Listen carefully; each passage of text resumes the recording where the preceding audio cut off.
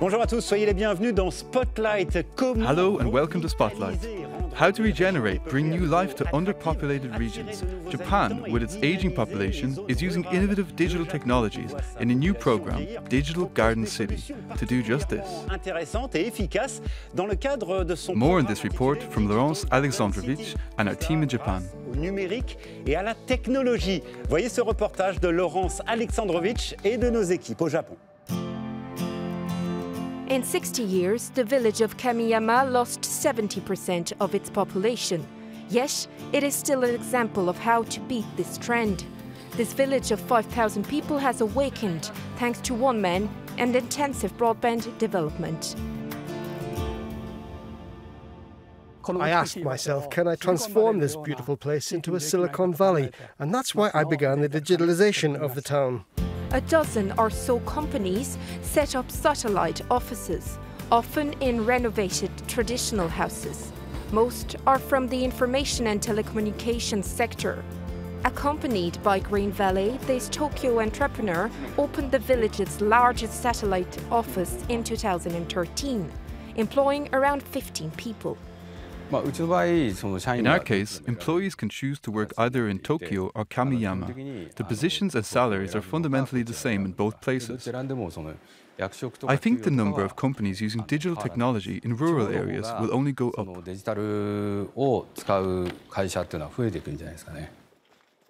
Today, the number of people moving to Kamiyama is higher than the number leaving. 70% of the children in the nursery are from families who have moved to Kamiyama. The regeneration of Kamiyama began in 1999 with the hosting of artists from Japan and elsewhere.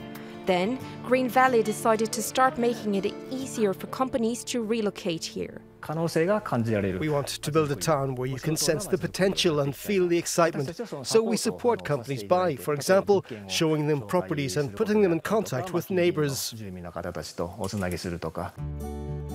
The city of Ina is also using digitalization to improve local people's life.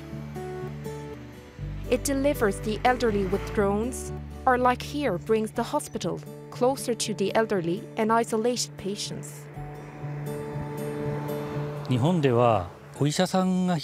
There are not many doctors in Japan's rural areas. To solve the problems this creates, we believe we need to take the health services to the patients using technology and remote medical care. Here in the Japanese Alps, it often snows in winter, another obstacle to get around. The mobile clinic was a boon for Mr. Nishimura, he was able to access treatment at home an hour from the nearest hospital. A doctor from the hospital conducts the consultation via video conference. When I go to hospital, there are people around, and there are things I don't get to say. Here, face to face, I feel I can really explain my concerns.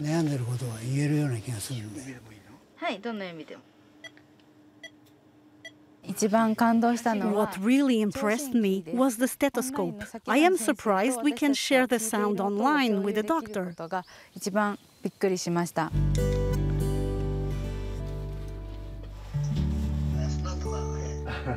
Reducing travel time means I can see more patients. Regional revitalization in Japan is not just about rural areas. Another province that wants to attract new residents is Fukushima, evacuated after the 2011 nuclear catastrophe. Since 2014, this incubator in Minamisoma has welcomed startups, sometimes from other regions. Its founder is also determined to accelerate the return of evacuees to his city, 20 kilometers from the power plant. If there are a lot of problems and people don't think they can live here, well, I'm ready to create 100 or even 1,000 small and medium sized companies, and that's my mission.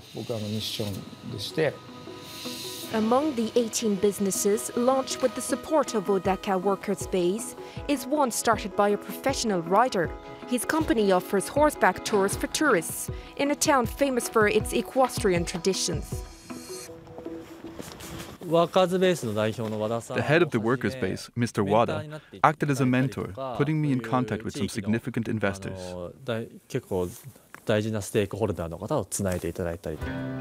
Diak team opened an artisanal sake brewery, the famous Japanese beverage, and setting up shop in this area is no small matter. Working here makes me feel I can add something to our fabrication. For example, in a zone close to the power plant, there are rice growers, and we can showcase their efforts through our sake to the whole world. In Minamisoma, there is an innovation movement for the future. Revitalization is not only through digital but also through technology, and this unique robot testing center settled in the city has a role to play. In the air, on the water, on the ground, companies test all types of robots, particularly those specializing in disaster work. Robots can, for example, deliver shopping or medicine in isolated zones. Professor Suzuki, you're the director of this test center in Fukushima. What is the role of robots in revitalizing regions? The introduction of robots in rural zones is very promising. We need people capable of making them work, but also training and monitoring them. I think that creating these jobs in rural areas could help revitalize them.